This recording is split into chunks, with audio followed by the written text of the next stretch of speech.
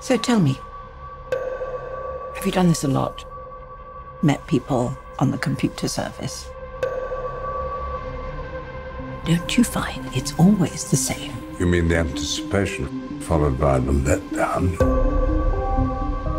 But I tell myself, brace up. This time it will be different.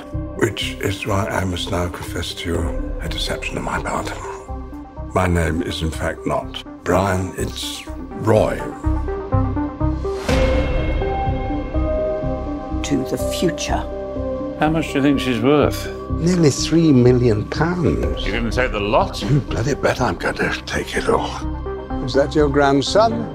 It's too soon to be getting so close to him. I've grown very fond of you. Do you know who you are? You're the only person on this planet who makes me feel that I'm not alone.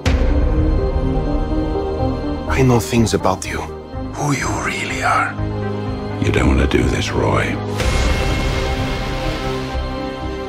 It's the game.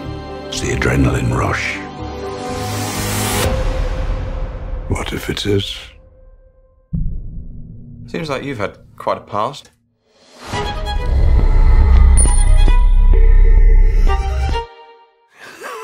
Enough to last several lifetimes.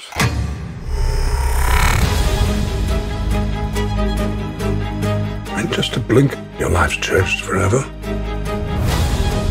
You know, it's very peculiar doing things you'd never imagined. Secrets between you, God, the devil, and the dead. You don't know him!